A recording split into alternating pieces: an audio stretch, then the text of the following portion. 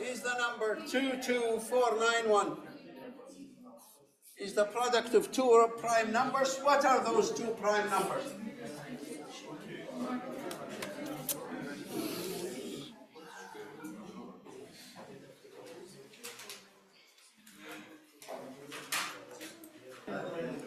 Okay, so this is Fermat's algorithm in finding out the fact in factoring large numbers.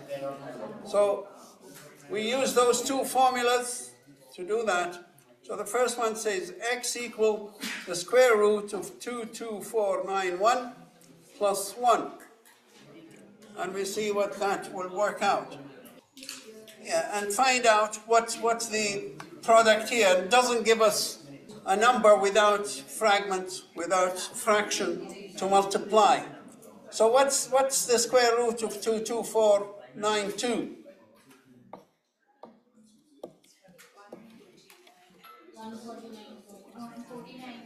One forty-nine point nine. So then it, it doesn't. Then we go for two. So it's two two four nine one plus two squared. Is that or square? Or, and that's two two four nine five.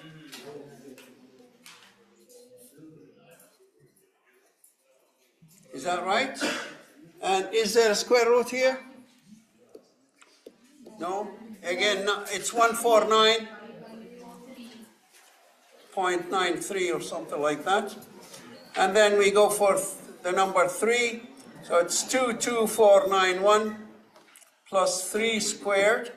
nine one plus or, and that is the square root of two two four five hundred, is it?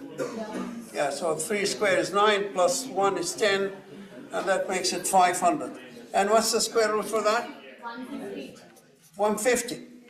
So, and that's what x equals. So put zero, that means this is it, we are there. So one, f- x equals one fifty. Now we, we go for the second formula.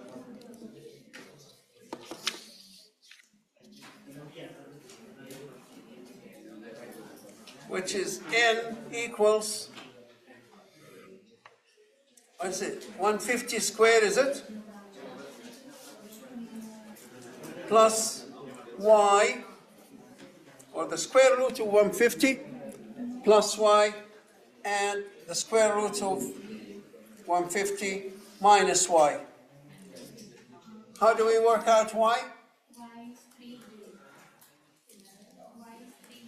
y equals 3, did we work it out? So that's what y is. So it's either 153, because y equals 3 here, and that's y equals 3, or 147.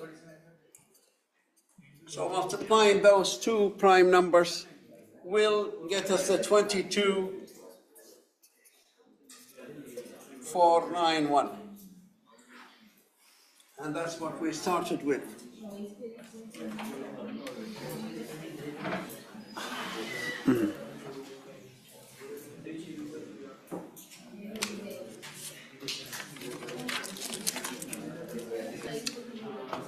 All right, guys.